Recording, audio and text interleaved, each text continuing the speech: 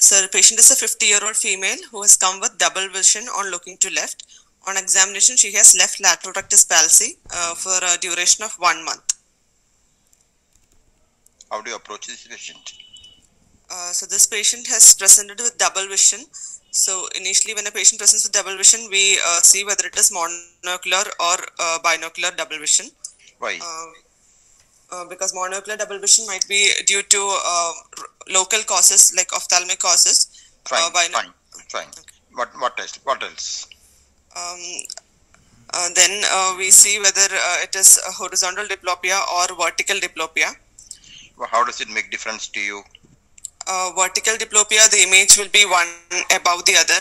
Uh, in horizontal diplopia, it is uh, on either side, and the it worsens on looking to one side based on the muscle which is affected. Horizontal diplopia points to which muscle?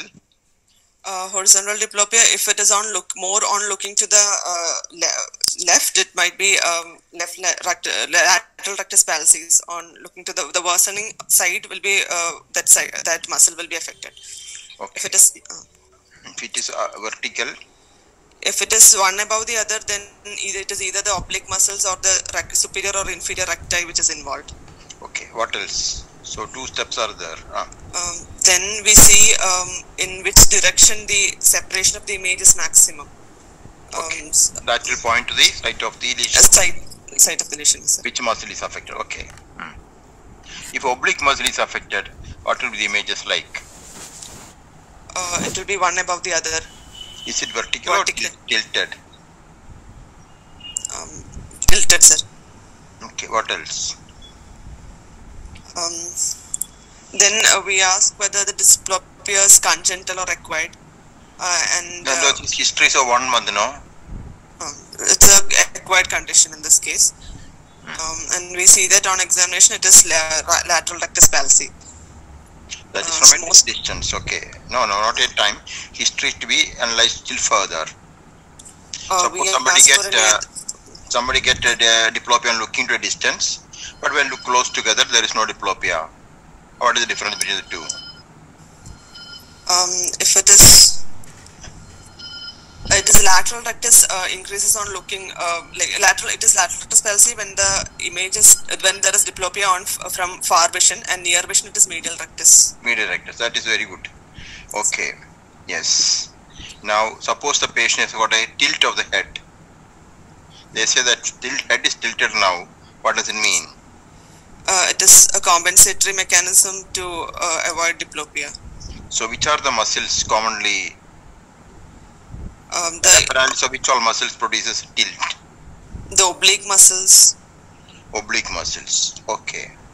Yes. Any other details you want to know in this patient?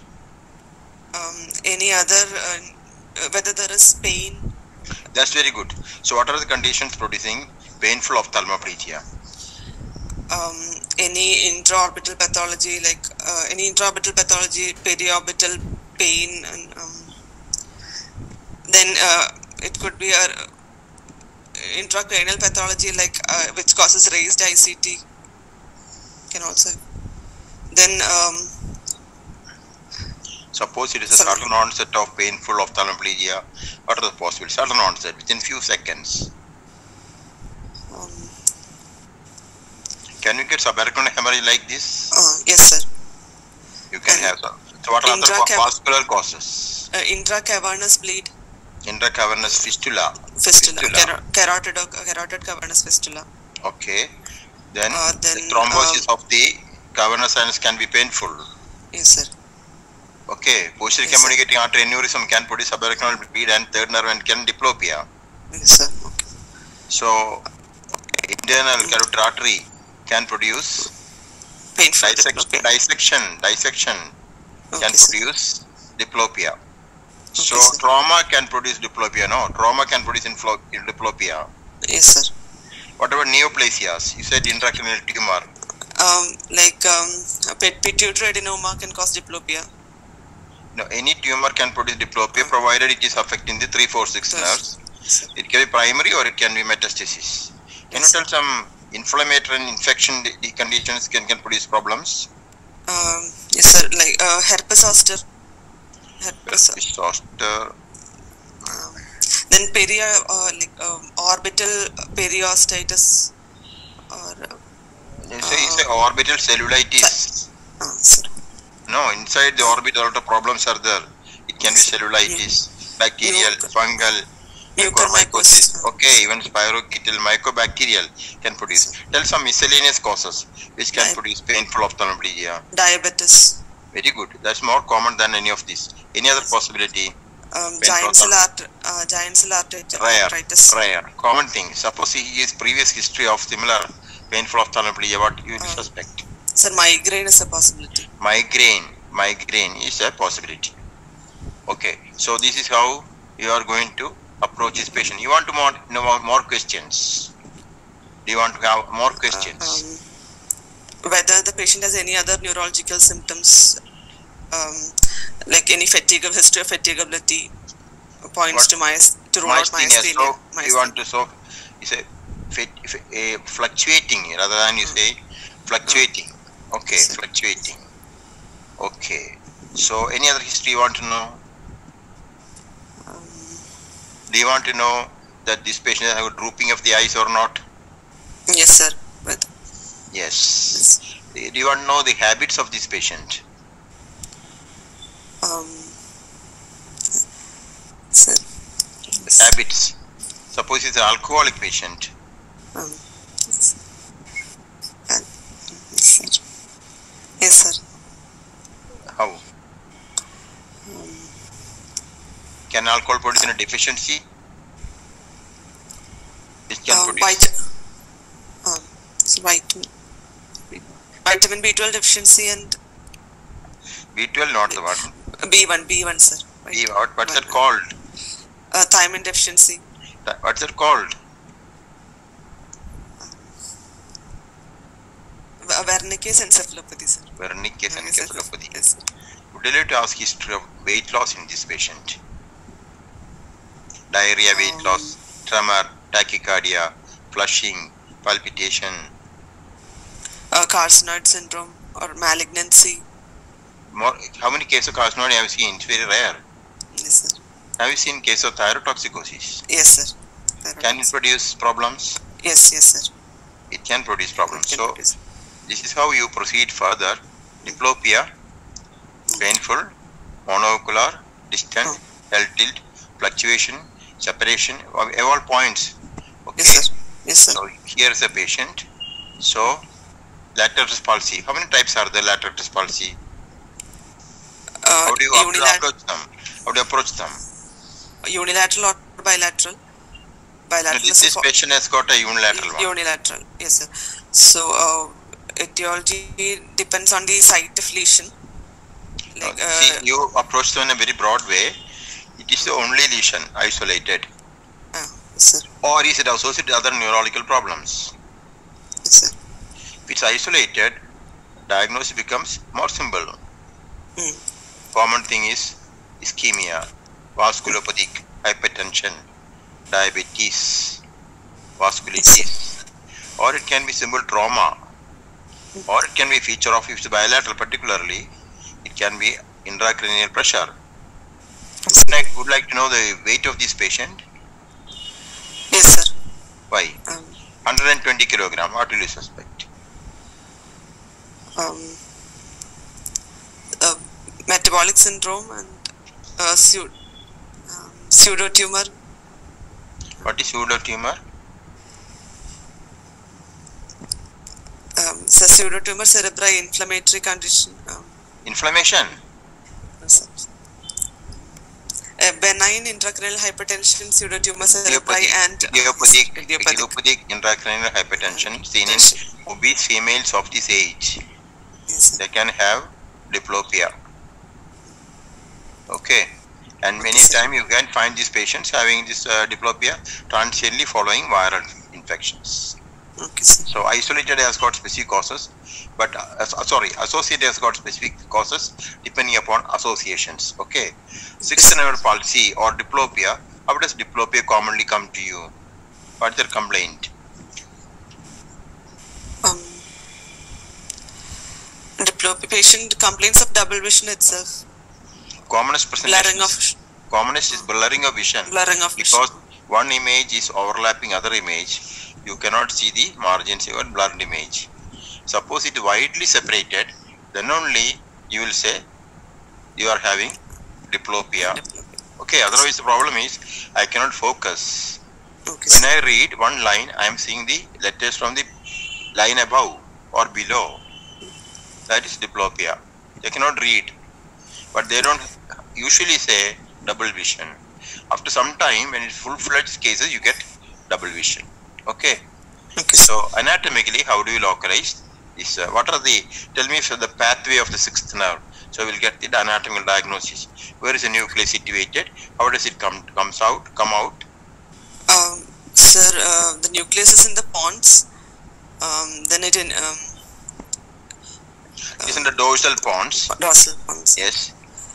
Um, then it travels adjacent to the uh, medial lemniscus, uh, adjacent to the corticospinal tract. Yes. Um, it innervates only the uh, the lateral. No, no, no, no, no, no, no. Before it reaches there, where does it go? It enters the subarachnoid space. Then it goes vertically over the clivus and travel to the apex of the petrous bone and enter the cavernous sinus. From the cavernous sinus, it comes out and passes through uh, adjacent to the internal carotid artery. It pass after the cavernous sinus. It passes. pass through superior Superior. orbital fissure. Okay, Then only tender the lateral orbit. So it is a very long course. So anatomically, how do you diagnose each step?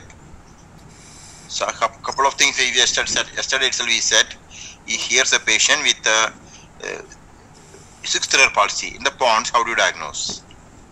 Um, so in the pons, a patient will have uh, horizontal gaze palsy. Then, uh, along with that, facial nerve involvement might be there, and other brainstem signs might So be what there. are, the, what Like are the causes in that region? um, it could be ischemic, then um, neoplastic, uh, any malignancy, um, so Wernicke's encephalopathy.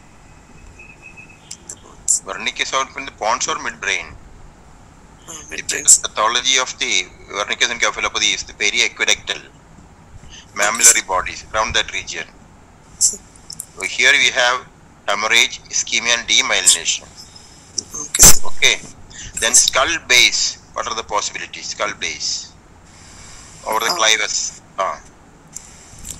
um, Usually, infections. usually it is the raised intraocular pressure and traction in that particular region. And coming to subarachnoid space, what are the uh, differential diagnoses you'll have? uh, trauma, uh, subarachnoid hemorrhage, Uh, the aneurysms, aneurysms, infections, inflammation, microvasculature. Apex of the petrous bone. uh, trauma itself, petrous bone trauma base. Um, Okay, tell me what's the gra- Gradenigo syndrome. um, that uh, in the petrous bone, the,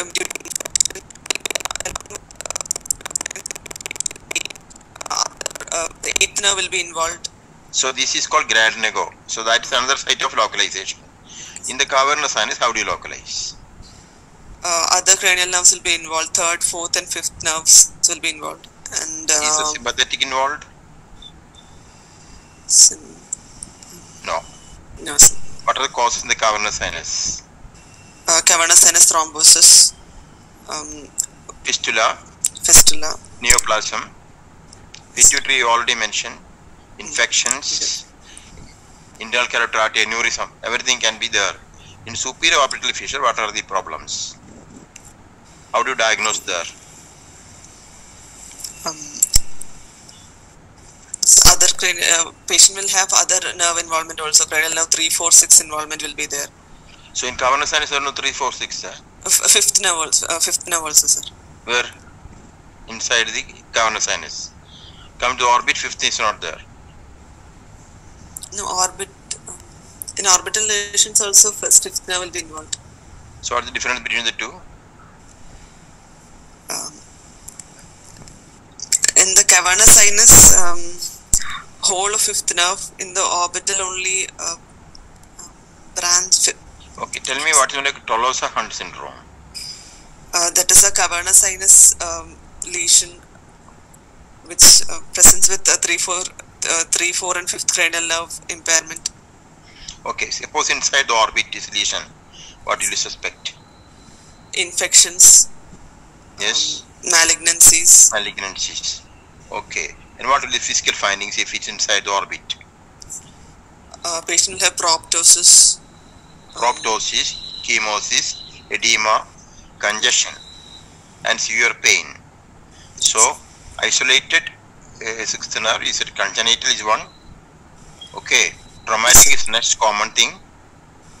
And among the acquired causes, trauma comes first, then comes the post-viral, then comes the microvascular like diabetes, hypertension, then comes intracranial hypertension, then comes idiopathic, and of course neoplasia. So, so Pons, you had hemorrhage, neoplasia, subarachnoid space you said, you said skull base, you said subarachnoid space, then you have got petrous apex, cavernous sinus, superior orbital fissure. Okay, isolated you said these causes. Now, if there is a horizontal gaze palsy, where do you localize? uh, in the pons In the pons. Okay, if the facial nerve is there, in the pons. pons Suppose there is sixth nerve with hemiparesis and hemisensory loss. uh, in the pons itself pons itself. So, suppose there's a combination of 7, 5, 6, 8 and facial pain. um, Can we get an echo? yes. Okay, cavernous sinus Horner's also come. Okay, orbital we said. uh, now, what are the differential diagnoses? isolated sixth nerve palsy most common cause diabetes Bilateral 6, what are the causes? it is a false localizing sign sir so What are the other false li- localizing signs? um,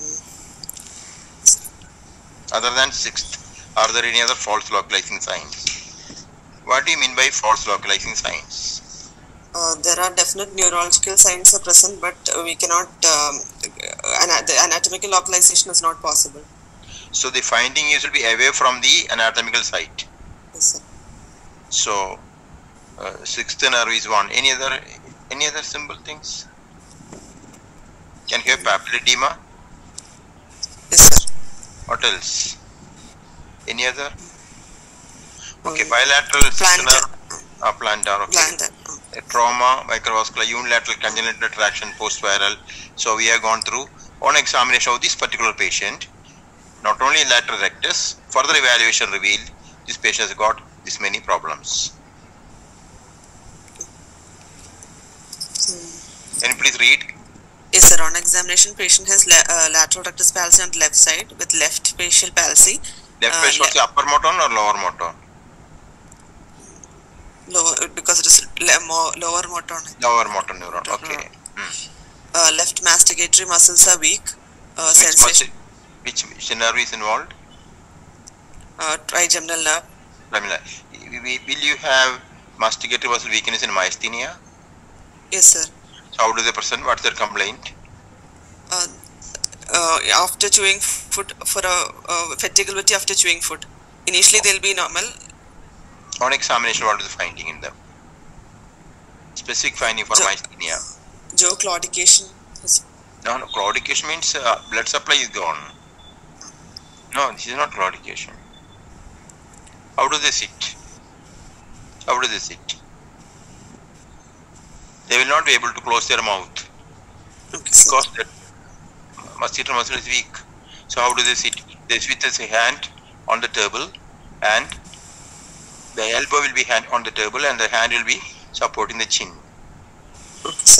Okay, The chin will be dropping downwards and the mouth will be 24 hours open. Okay. And sensation on this patient is lost.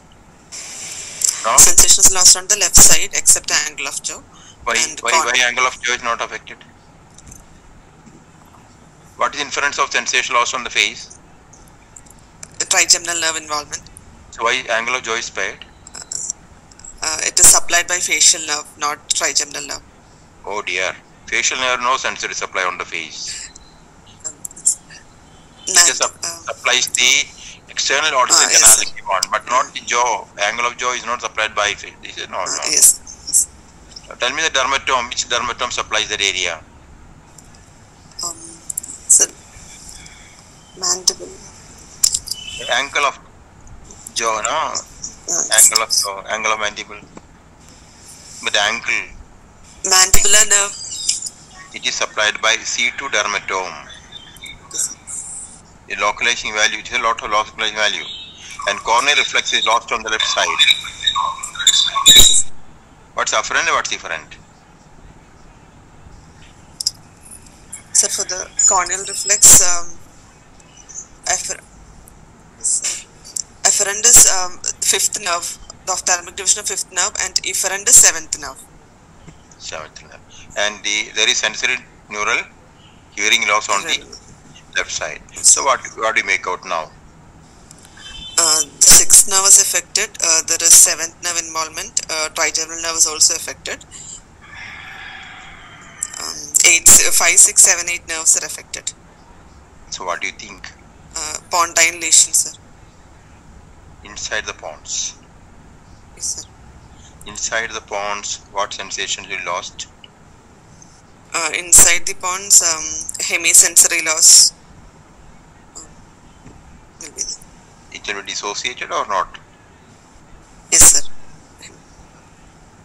So when you have hearing loss as the complaint with sensation with the facial palsy, where all you localize? Yesterday we localized. Seventh nerve with nerve, where do you localize? Um,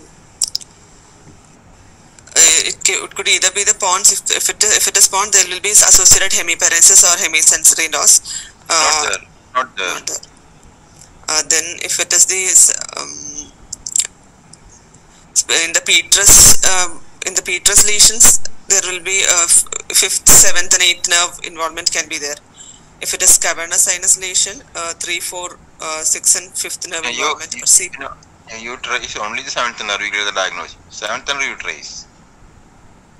Seventh nerve with eighth nerve, where all they come together. CP angles, sir. CP So what are the points against CP angle here? sixth nerve involvement, Sixth neuron because of raised ventricular pressure. uh, pressure. Oh, okay, sir. What do you expect to find the fundus? Papilledema. What is the definition of papilledema? Um, enhancement of uh, the shadow by more, more than 3 millimeter. So is it optic neuritis? There is no history of pain in this patient. What is the difference between optic neuritis and papilledema? How do you differentiate?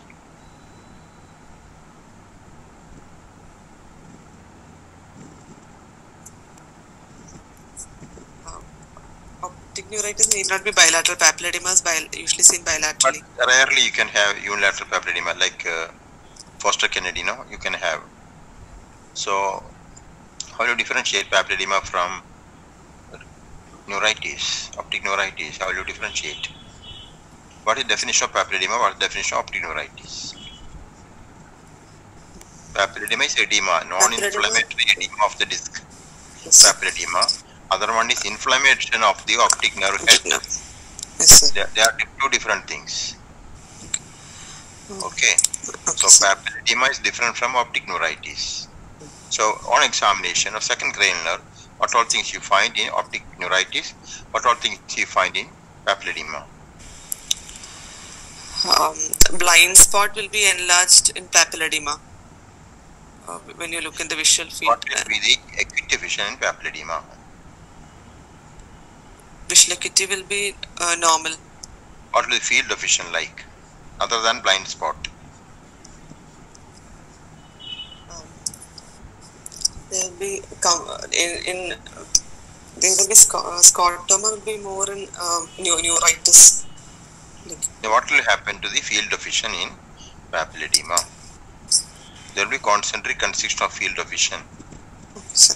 What happens in optic neuritis?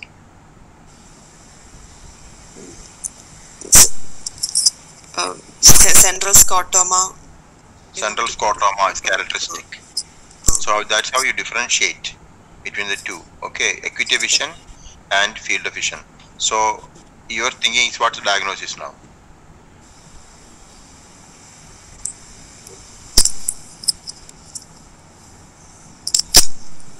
So No, CP angle. It should be CP angle. angle. So what's the differential diagnosis there? Uh, CP angle tumors, acoustic neuroma. That very common, yes. Rare things are there.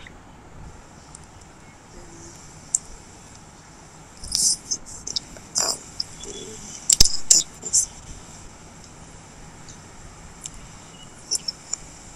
Uh, neurofibromatosis can occur in um, like vestibular schwannoma and neurofibromatosis can occur in CP angle. That, is called acoustic neuroma, no? Uh, just yes.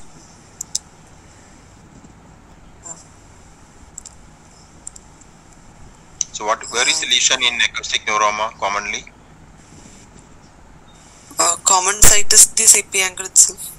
Which nerve? Eighth nerve, Uh, wha- What is the full name of the eighth nerve? Vestibular cochlear nerve, is seen in the vestibular component or cochlear component? ve- vestibular component. To say the, otherwise called vestibular schwannoma. Schwannoma. So what are the usual symptoms of vestibular lesions? uh, patient presents with tinnitus, um, um, vertigo tinnitus, got tinnitus, okay. cerebellar signs can be there. So, so what are the other differential diagnosis here? Have got, can meningioma come here? Yes, sir. What about epidermoid cyst, Yes, sir. arachnoid cyst? Yes, sir. How do you differentiate facial nerve schwannoma from acoustic neuroma? So, acoustic neuroma will have only uh, uh, there'll be eight, uh, eight nerve signs also. Eighth nerve symptoms will start early, subsequently seventh is affected. Seventh nerve schwannoma also can have deafness, later stages, but short with they come with facial palsy. They are close together. When you suspect cholesteatoma, Um, when hearing is affected, patient presents with hearing loss and um, there the history of otitis media? uh, yes, sir. See a chronic uh, a chronic hearing loss and otitis media history. So what is CP angle? What cerebellar are pontine boundaries? angle. What are boundaries? What structures are there? It's a triangle shaped area. What does it contain? CSF. Above Right. septum Below got cerebral tonsil and medullary leaves. Anteriorly, posterior dural surface of petrous bone and clivus. Posterior ventral surface of pons and cerebellum. Medial you got cisterns of pons and medulla.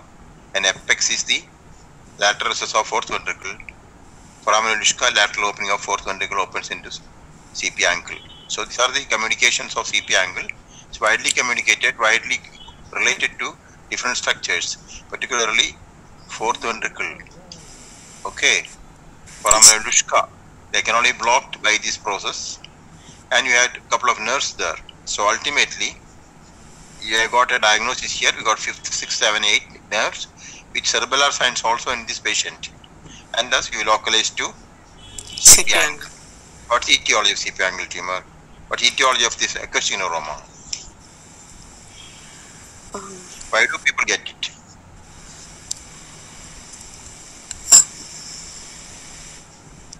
so uh, a part of neurofibromatosis. uh, The genetic mutation. um, The genetic mutation. Which chromosome? Is, what is the gene effect involved? uh, in neurofibromatosis NF2 gene. And there are two types, no? NF1 and NF2. Here NF2 is the culprit. Situated on which chromosome? 22 mutation. Usually what does it do? What does chromosome do? It produces substance called merlin. It's really suppressing the tumors the mutation, that suppression is gone, so they develop it. So what are the basic difference between the two?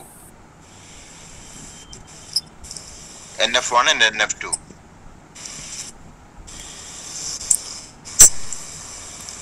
So, what are the other other causes for the etiology? One is excessive use of mobiles, radiation.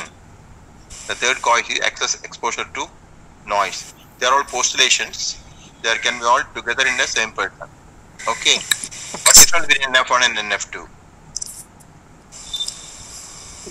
In the uh, you can see Lichtenheim nodule sometimes in NF1. Where do you look for it? Where look for it? palms or soles? Where do you look for? Uh, sir, um, lesion is just seen in the iris. Iris, that's Yes, correct. That is not seen in NF2. NF1 is also always benign. NF2 may become malignant. If you get dumbbell neurofibroma, okay, dumbbell tumor in the spine, they are usually neurofibroma in NF1, but it is usually schwannoma in NF2. These are the basic differences among them. So how will you confirm acoustic neuroma? Uh, so imaging is required. Uh, imaging is required for confirmation. X-ray skull or what do you want? Uh, MRI brain. MRI brain. And what will you do? Uh, we look at the extent of the tumor. And Um, surgical management is if if the if the size is more, surgical management will be required. So usually surgical management is done if the patient is fit for the surgery. And outcome is good, but you may have dis- deficit, the form of deafness, or already damaged nerves may remain as such. Okay. So when you go for gene testing, um, if there are other signs of uh, NF gene involvement, hmm, whom all you test? with the family history of acoustic neuroma, um, If it's bilateral, you must go for genetic study. okay, sir. If there is first genetic relative with NF2 gene, okay, affected parent, sibling, offspring, then you must have it. Usually age group of this type of tumors are 40, 50, 60 years. Less than 30, invariably you have to test for genes. And if you find multiple spinal tumors, again you must go for testing. Bilateral acoustic neuroma, always test, always test. Okay. So age is important, and if there is associated cutaneous schwannoma, then you must check. So young patient, cutaneous schwannoma, multiple spinal tumors, first degree relative, bilateral disease, all are indications for genetic testing. Okay. okay, sir. So how will you know these patients have got deafness? um, audiometry uh, from the history first of all and then you can clinically test by Rinne's test or Weber's test and for confirmation you can do an audiometry. Can you tell one more test in relation to the testing of the nerves? Suppose I keep the tuning fork in my ear on my mastoid. When it stops, then I put it on the patients. Then what will you suspect?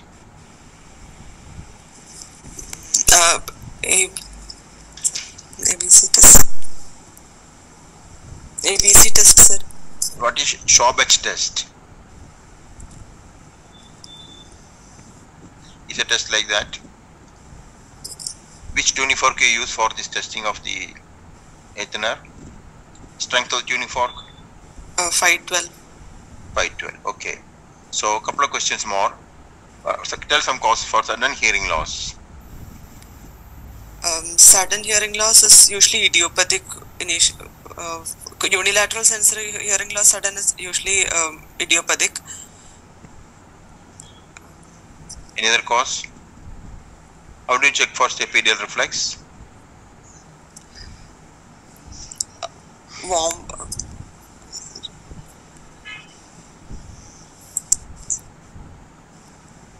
It is done in the laboratory, not in the uh, clinic bedside. What is the basic difference between central and peripheral vertigo? Uh, peripheral vertigo changes with post. Uh, patient has vertigo on postural variation, That's right. um, and it will be more symptomatic.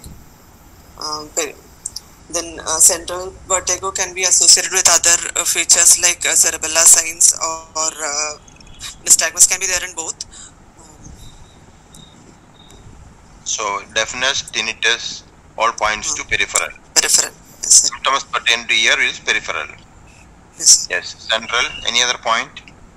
Suppose you make the patient stand up, lie down. If there is a, how long this uh, nystagmus seen in peripheral, how long will see the central? Uh, in peripheral nystagmus might uh, only when the patient is symptomatic. Uh, for central nystagmus will be nystagmus is seen only when you make the patient sit up. After a few seconds, it stops. Central be persisting. Okay. So sudden hearing loss, many causes are there. Infections, inflammation, vascular, traumatic and toxins. Many, many questions. Many, many causes are there. Not only this one. Okay.